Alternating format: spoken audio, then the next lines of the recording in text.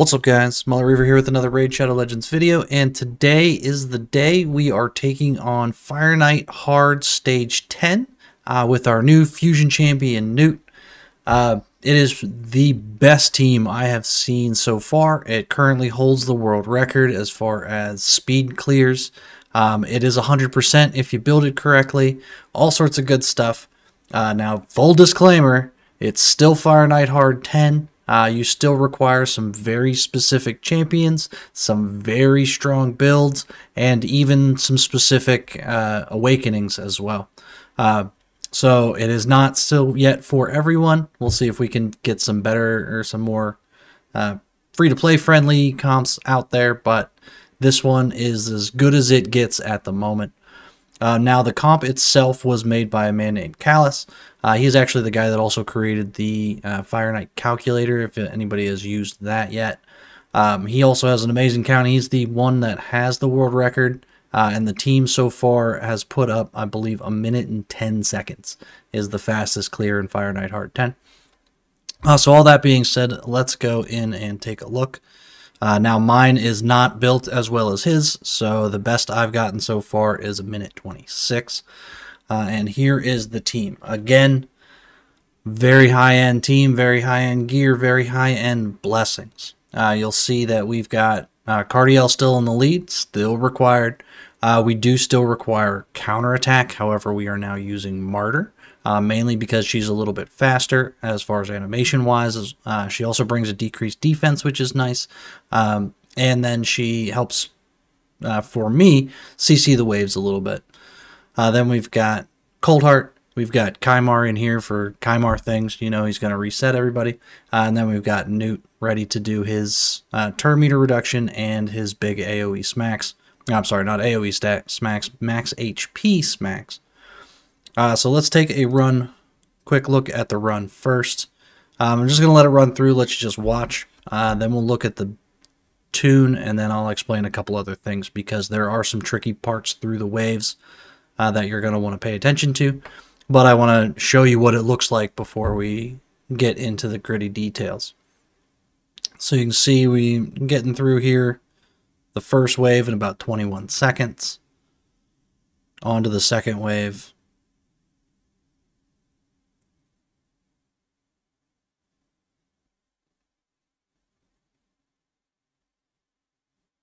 And slicing through here.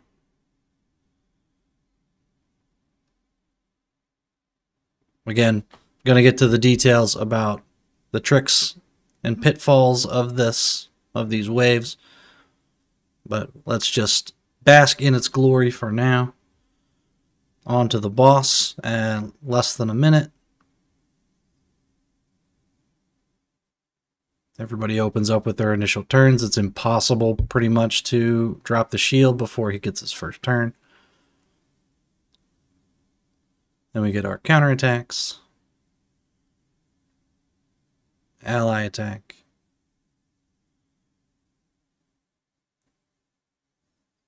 Couple of big pops.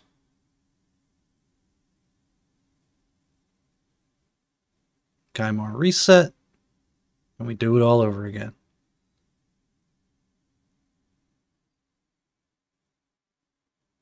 Boom. Minute 37 on that one. 41 turns. Not too shabby. Uh, you can see Cardiel doing some work at a million damage. Kymar also at a million, so you can see that they are built for damage. We'll get to all that here in a second. Uh, Coldheart 1.8, and then Gnut, um, at 4 mil. And Martyr coming in there with a little bit of damage as well. Let's get rid of that.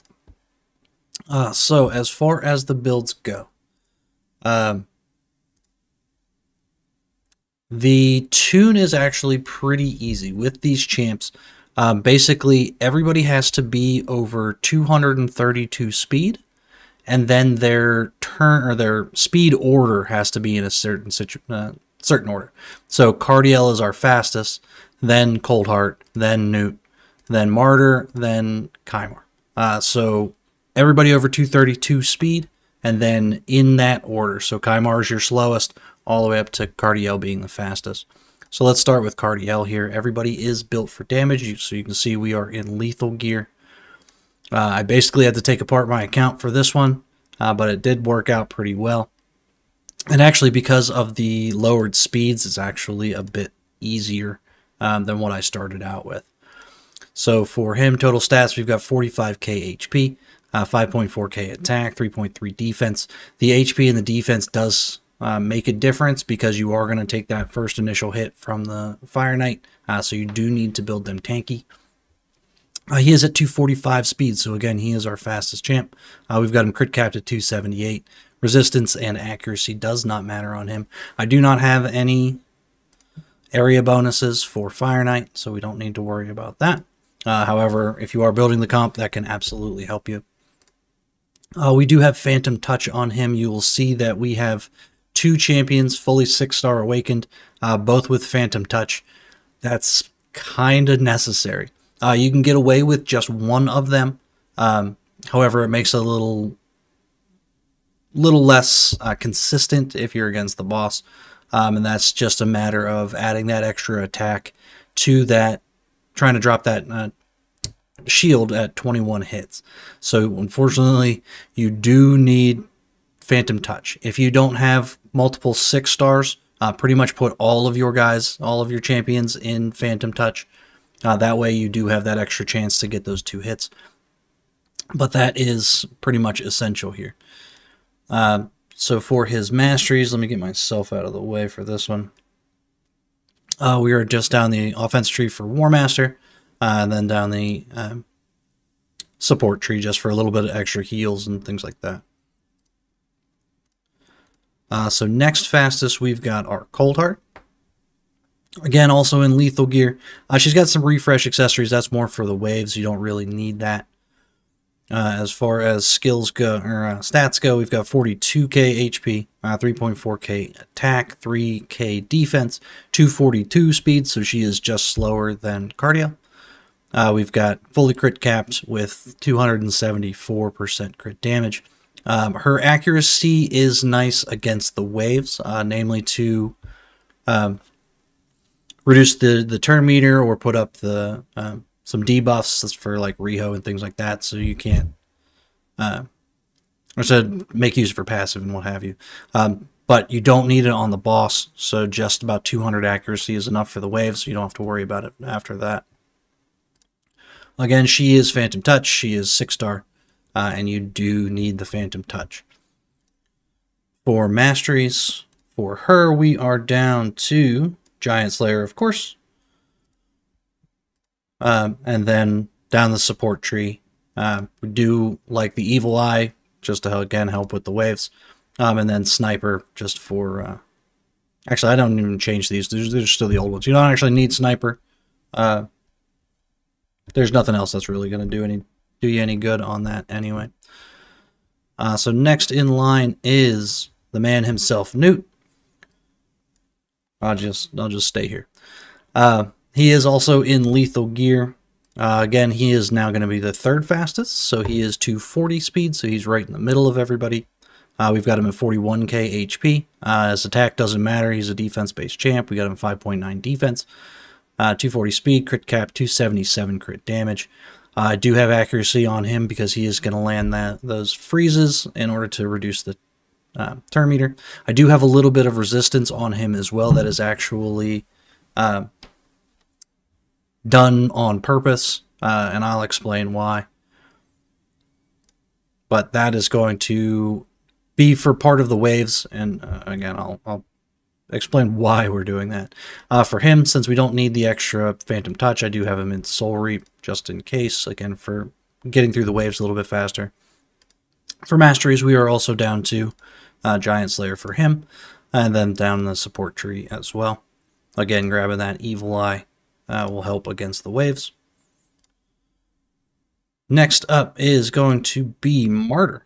Uh, Martyr is in a shield set. She is the only one in a shield set. You can also use Bolster for her. Uh, basically, she is just going to give us that extra protection against that first whack of the, the Fire Knight. Um, depending on how you build her uh, and how we handle the waves, um, you can have her in high HP or the lowest HP to end up being the target of Riho. I'll explain what I mean by that. Uh, whenever you get to it. But for Martyr, we've got 4 point, or 45k HP, uh, 2k attack. That doesn't matter. She's defense based as well. Uh, 5.3 defense, 239 speed, so she is just slower than Gnut. Uh, crit cap, 277 crit damage. Uh, accuracy on her in order to place the decreased defense against the boss, which is pretty helpful. Um, you do also use like her uh, provokes and things like that against the waves, but you don't need all the accuracy for that. Uh, I don't even have a blessing on her. Uh, I did actually book her out for this, so you do need her booked. Uh, for masteries, we've got down to War Master for her. She's just a single hitter. Uh, and then again down to Evil Eye because those waves suck. Uh, last but not least, we've got Kymar. Kymar in Savage set, again built for damage. Uh, he is the slowest on the team at 233 speed. Uh, again, everybody just has to be over 232. Uh, 4 point, or 42k HP, 4.4k attack, 3k defense, crit cap, 288 crit damage. a little bit of accuracy for him as well. Again, just to be useful in the waves. Uh, I have Soul Reap on him again, just to help clear the waves a little bit. If you do not have the Phantom Touch, put Phantom Touch on your champions because you do need a couple of procs from that for the shield. Uh, and then as far as masteries go, we are again down to War Master, um, and then Evil Eye in the support tree. Uh, so those are the champions. As far as team setup goes, uh, there's going to be some options here as well. This is going to be mainly to clear the waves and things like that. Uh, but we'll show you what these are. Let me get myself out of the way again. Uh, so for Cardiel, uh, we're going to open with his ally attack uh, and then turn it off. So both his A1 and A2 are off. Uh, once he opens with the A2, then all we're using is his A1. Um, you can do the same thing on the second wave. However, he has to take enough turns in order to clear this out. So if you're clearing the wave quick enough, he's not going to cycle back to this, so I recommend turning it off um, and just uses A1. Uh, for the boss, we are going to open with the A2, which is the block debuffs and revive on death. Um, and then we are going to prioritize his ally attack from there. Uh, for Kymar, I do also have them, I guess I should note, they are in position order on purpose. Um, so Cardiel, uh, obviously speed lead. Kymar and Coldheart are just in there. They're just going to throw some their hits in when they get there. Um, but for that ally attack, the turn order matters as far as uh, once you break the shield, then your debuffs and stuff can be placed after the shield is open. So if you've got extra attacks on the end of the uh, ally attack, those last couple of champs will apply their debuffs. In that case being Gnut with his turn meter control, uh, which actually isn't as important uh, on that initial opening, uh, but it comes in handy on the next one. Uh, and then Martyr putting up the decreased defense uh, that helps me. So they are in position order on purpose. So that being said, uh, Kymar, he's going to open up with his A2. We're going to shut off the, the reset. Um, I also turned off the A2, so he only opens with it. Um, that way he has it ready for the second wave uh, instead of just wasting it like twice on the first wave, things like that, because I've seen him do that before. Uh, and then again, we open it up and just use it as normal. The opening doesn't really matter. He would do that anyway if he had it. And we just make sure we have the uh, reset turned off. And then for the boss wave, we are opening with his A1, and then we are prioritizing his reset. Uh, for Coldheart, we are just not using her Heartseeker on the first wave, uh, as well as the second wave. She's basically just A1 and A2 as often as she would like uh, through those first two waves. And then against the boss, we are opening with her A1. We are turning off the A2.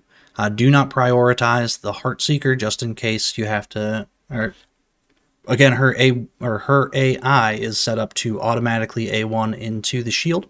Uh, if you force the A3, you could mess that up because it's going to follow the presets before it follows her programmed AI. So just leave that as default. Uh, for Gnut, uh, round one, we're opening with the A2 and turning it off, um, not using his A3 at all. With the A2, um, he actually opens with the A2 against the boss, so I turn that off entirely, uh, as well as the A3. And then against the boss, we are opening with that A2 and then prioritizing the A3, which is that 3 hit max HP smack. And then for Martyr, uh, we are doing nothing through the wave. You can actually use her A3. Uh, that's the provoke. Uh, I am saving that actually for wave 2 because sometimes she um, cycles back to it, sometimes she doesn't.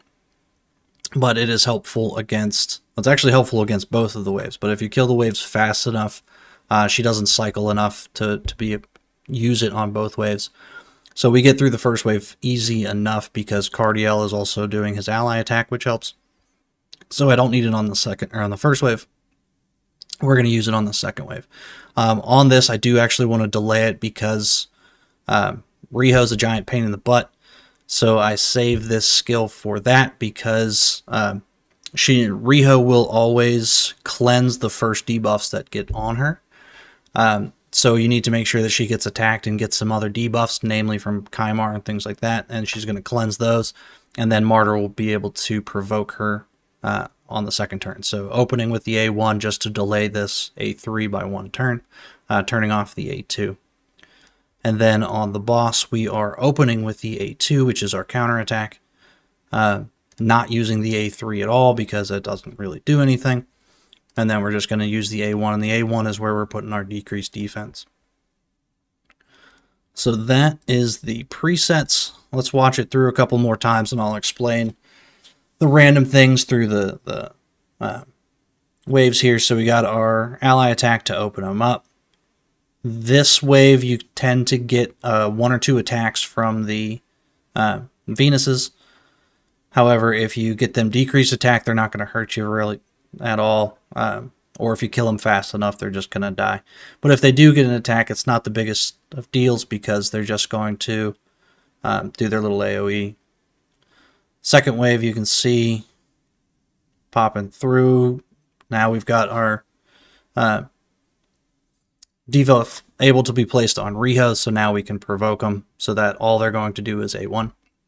Uh, if Riho, one of the things I'm actually going to stop it here for a second. Uh, so Riho, if she ever gets in a turn, if she's not provoked, if you're not using that provoke there, um, she is going to do her A2, which is all the debuffs and the big old smack. She's going to do that against the whoever on your team has the lowest HP. So you can actually tune your builds uh, to make sure somebody that can actually tank that hit uh, is the target. Uh, in the case of my team, I actually have uh, Gnut as that target. That is why I had that uh, 200 and some odd resistance on him. That way, whenever she targets him and tries to do that A2, he can actually resist all of those debuffs, and then the hit doesn't doesn't even scratch him. Um, he can tank it if he takes all of the debuffs because he is a uh, defense-based champ. Uh, however, if he then gets crit by the boss on the next turn, it gets uh, pretty dicey from there. Uh, so just things to keep in mind. If you're not controlling Riho and she stays alive at the end, you need to plan for her being able to one-shot one of your champs. Um, in which case you can build either Martyr's defense base, so build her with the lowest HP. Granted, she does have the shield set, so you would want her as the highest HP. Um, or you can set up Gnut like I have. Uh, so moving along, get through that. On to the boss. Now the boss only takes one turn here, so everybody just does their initial setup until let him take a turn. So you can see we got a couple of crits on there and they got close to dying. However, it's the only attack that they're going to get, so we don't need to worry about them taking more.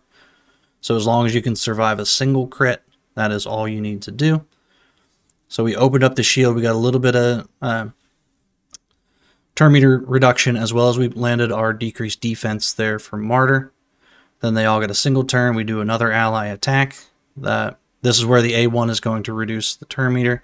So you don't actually need turn meter reduction from that first shield opening because Gnut's going to be able to take a second attack. Um, or I'm sorry, Cardiel is actually going to be able to take that second attack because he is going to do that uh, ally attack, which is going to be his A uh, allowed Gnut to bring his A1, which is going to reduce the turn uh, turn meter. The only way that would fail is if all three of Gnut's hits are resisted for the turn meter reduction, and I have yet to see that actually happen. But other than that, besides the fact that we stopped it there in the middle, uh, it's about a minute 45, minute and a half. Uh, you can see my fastest time was a minute 26. And it's all a matter of basically how fast you can get through the waves here. So you can see there's still two of the Venuses left. Looks like this one might get a turn. Yep, she's going to come in. She's got decreased attack, so she doesn't do anything to our team. On to wave two. They're just going to roll through here. Kymar's going to... Oh, what happened there? Looks like we didn't reset for... What did happen there? Oh, no, that was just her first turn. Never mind. I thought she already went twice, and she, for whatever reason, didn't land the provoke, but... Cardiel, because he always joins in attacks. It always throws off whenever you're trying to watch it. Uh, so we were through those waves in a minute. That's actually a little slow. However, again, we do our setup, take our hit, then we go through the counterattacks.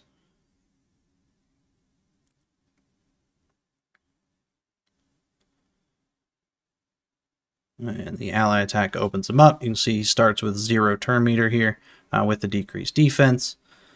Then a big slam. Martyr just for one on top. Then we reset, and we do it all over again. Ally attack, there's our turn meter reduction. And then smack, and done. Minute 42 on that one, so it was 42 seconds through the boss. Uh, not too shabby. So, I'm pretty darn excited about this one. Uh, kudos to Callus for coming up with the comp. I know he actually was using Valkyrie here instead of Martyr um, and then was suggested to him to use the Martyr uh, as being a little faster, and he did shave off some seconds on that. Uh, but I was able to build the same team uh, and get some pretty darn good results. So let me know what you guys think. Uh, leave comments down below, like, subscribe, all that sort of good stuff. And we will catch you in the next one. Later.